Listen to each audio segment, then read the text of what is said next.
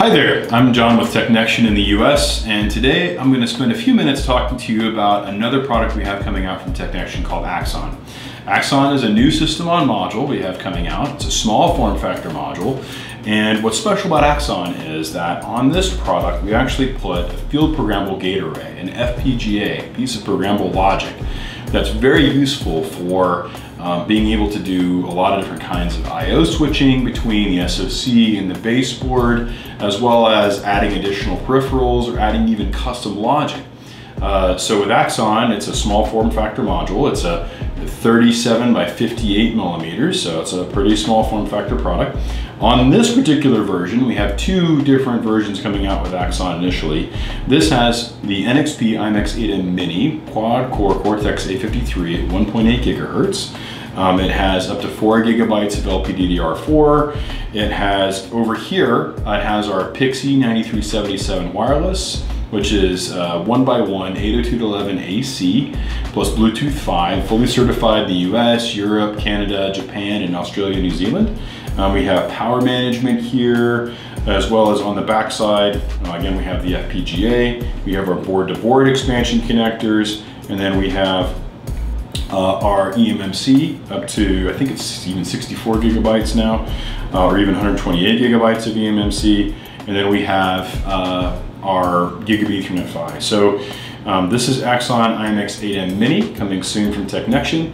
Uh, we also have another one, Axon IMX6. Axon IMX6 is a little special because IMX6 has so many display interfaces coming out of it. It has uh, up to 24 bits of parallel TTL display interface.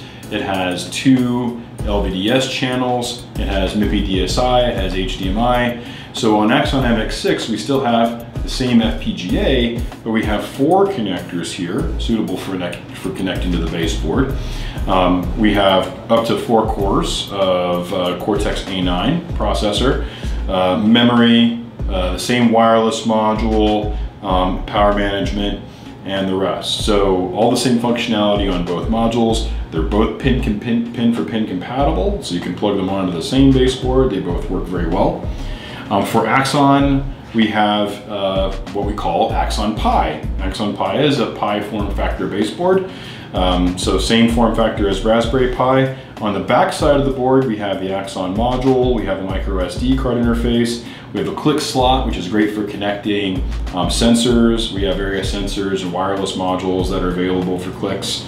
Um, if I turn that over and look at the top side of the board, you can see all the rest of the capabilities we have. We have 40 pin expansion connection. We have our voice connection here for connecting voice hats.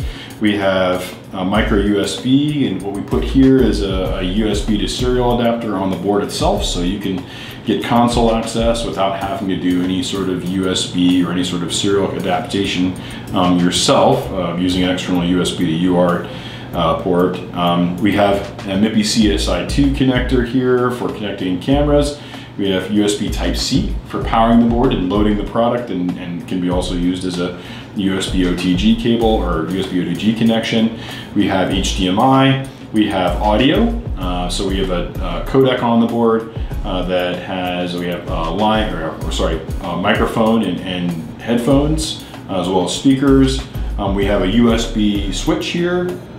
Uh, we have our MIPI DSI uh, connections here for talking to our 5-inch MIPI DSI uh, uh, display.